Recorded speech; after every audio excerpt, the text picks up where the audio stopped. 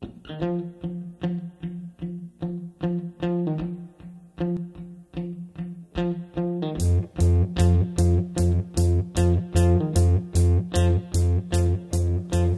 here we are at SEMA 2015 on the Forgeline booth. We're with Dave and we want to talk about load ratings and the importance of having wheels that can stand up to the rigors on track.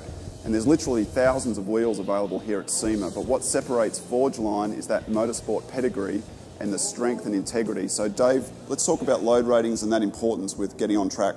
Yeah, most people don't realize that there's a load rating stamped on every wheel. and We have a load rating sticker on our, on our wheel as well. But what differentiates our load rating sticker from anybody else's is we have three different load ratings. Take a GS1R, a GA1R, um, any of the G series wheels, they're going to have a 2,100 pound load rating with a street tire. That's a, that's a street tire that's rated like a 0.7 coefficient of grip, something like that.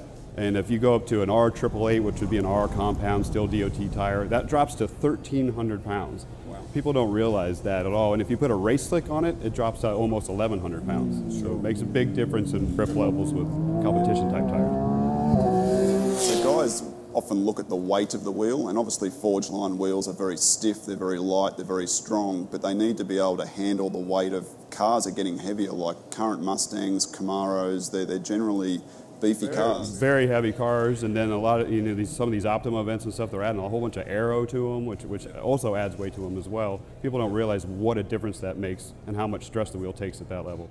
Yeah, so it's really a holistic view of what's required to be able to use those wheels on the track and get the most out of the car and do it safely.